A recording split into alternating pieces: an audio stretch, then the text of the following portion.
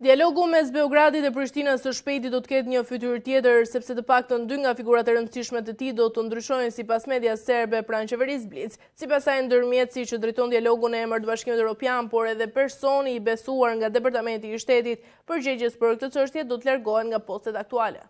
Miroslav Lajçak largohet nga Brukseli dhe Gabriel Escobar po kalon në një pozicion të ri në Uashington dhe dilema është nëse Josep Borrell si përfaqësues i lartë i Bashkimit Europian për politikë të jashtme dhe siguri do t'i zgjatet apo jo mandati, shkruan media serbe. E gjithë kjo çon në dyshimin nëse dhe si njerëzit e rinj do ta nisin dialogun nga ngërçi dhe nëse lojtarët e rinj do të sjellin një ndryshim dhe bashkëbiseduesit tregojnë se kushdo që do të vijë do të ketë detyra të qarta që e presin në tavolinë. Sreçko Gjukiç, një ish-diplomat tha se pyetja e vërtetë është se si do të duket dialogu në të ardhmen.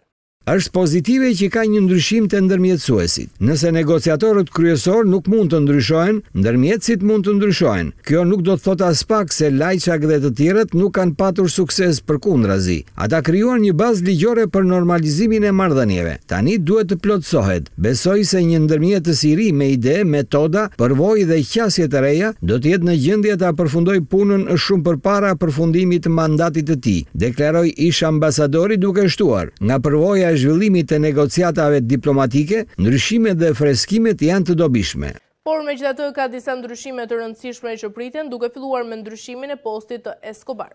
Media serbe Blic kujton se ai nuk ishte zyrtarisht pjesë e dialogut, por paraqitej në bisedimet në Bruksel apo Beograd sa herë që kishte ngërç. Javën e kaluar u përhap lajmi se ai do të kalonte në një pozicion të ri, një vit përpara skadimit të mandatit dhe vetëm gjysmë viti para zgjedhjeve në SHBA.